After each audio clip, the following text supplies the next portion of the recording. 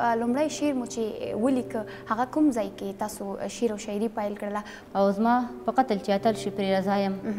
ښه دی زما په مرګ یاره ستا کار جوړ شو واو ډېر ښکلی سلامونه د انعکاس یوټیوب چینل ته ښه راغلاست نن راسره په خپرونه کې یوه تکړه او بااستعداده شاعره په خپرونه کې میلمه ده مریم وفا احمدي احمدي خورکۍ په خیر راغلې خپرونې ته دا راته ووایي څنګه یې ژوند زندګي بلکل ښه تېرېږي مننه دې خورکۍ الحمدلله لومړی که دا راته ووایئ دا چې تاسو شاعره هم هستئ څومره وخت کېږي چې تاسو شاعري کوئ؟ زما شاعري زما د ښوونځي له دورې څخه پیل شوه چې د اتم ټولګي کې وم چې ما شاعرۍ ته پیل کړ. اثار مو چاپ کړي دي یا نه مو چاپ کړي او که نه بعد له دې به پلان لرئ چې کتاب به له خیره لیکئ او په شعر او شاعرۍ کې به پرمختګ کوئ او که نه داسې نادر جانې زما مجموعه چې ده چاپ شوې نه ده خو چاپ ته نږدې ده تقریبا د شعرونو مجموعه مې دوه سوه ته رسېدلې ده چې علاوه له شعرونو او غزل یا قصیده نه تقریبا اته دېرش چاربیتیانې دي او همداسې د څلور مې د لنډو کیسو کتابونه هم چاپ ته نږدې دي ان شاء الله په راتلونکي کې به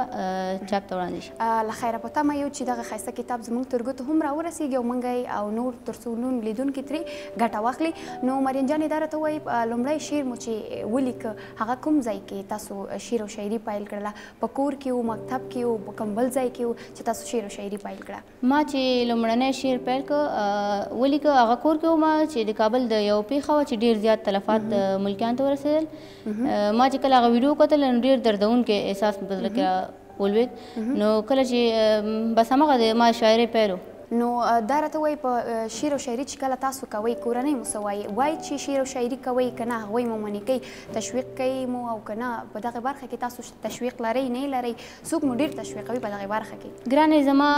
تشویق زما د کورنۍ نه دومره نه ده زما تشویق زیاتره زما د استادانو له طرفه ده او زه مې خپل استادانو نه ډیره منندوی یم په دې ارسه کې زه ډیر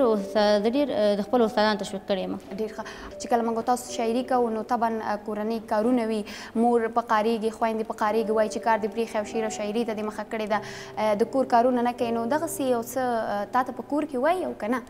ګرانې شعر خو داسې ده شعر لیکل یا ویل دومره وخت نه غواړي که شاعر یعنې بااستعداد شاعر اوسي هغه کولی شي چې یو غزل یا یو شعر په پنځه دقیقو کې لس دقیقو کې مکمل په هر وزن قافیه هر سره مکمل کړي او د کرغتنې لپاره خپل شعرونه تاسو چا ته ورکوئ په دغه برخه کې مو استاد لرئ نه لرئ نه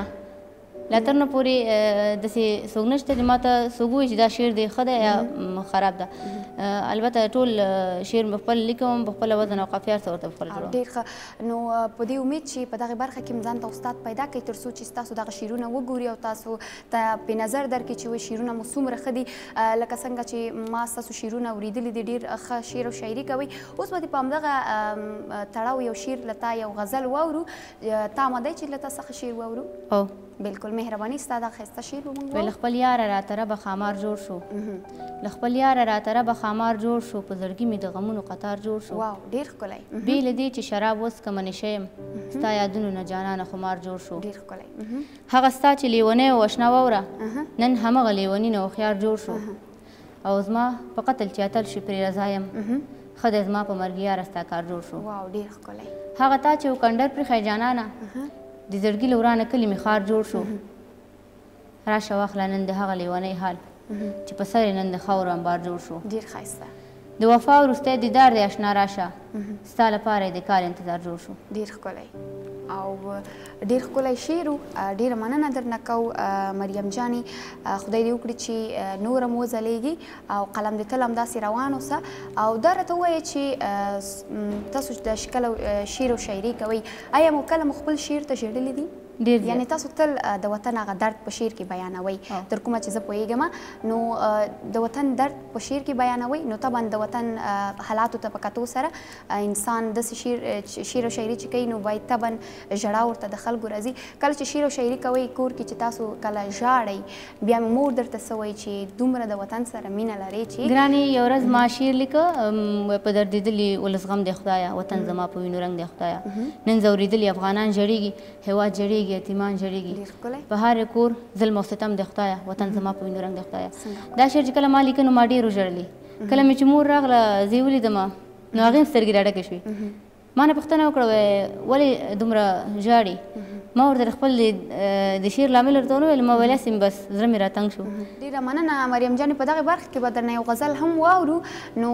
که آماده یې نو مهرباني ستا دغه ښایسته غزل به هم در څخه واورو زه به یو غزل ووایم وې سهار له غمه ډکه هر ماښام له غمه ډک ډېر ښکلی سهار له غمه ډکه هر ماښام له غمه ډک دا ژوند دی چې تېرېږي بس مدام له غمه ډک ډیر خسته زړګی می اور اخیسته د بیلتون په اور کې سوځي له زړه می اور ربه دا پیغام له غمه ډک او نن بیا می د هغې په سترګو اوښکې ولیدلې چې را یې کړو په سترګو کې سلام له غمه ډک او ګناه مې سوره به چې پرې خودم یوازې نو څوک داسې اخلي چانه انتقام له غمه ډک وفا یو څو مصرې لیکم د هغه جدایۍ کې وفا یو څو مصرې لیکم د هغه جدایې کې نن بیا راته راغلی دا الهام له غمه ډک ډیره مننه مریم جانې واقعا ډیر ښکلی شعر او شاعري کوي نو ډیره مننه چې زموږ دعوت دی ومنو زموږ خپرونې ته راغلې زموږ خپرونه دی لا پسې ښکلې کړله قدرمنو لیدونکو البته د یوټیوب لیدونکو دا وه د نن ورځې خپرونه چې تاسو ته مو وړاندې کړه تر بیا او بلې خپرونې مو پاک الله مل شه وختونه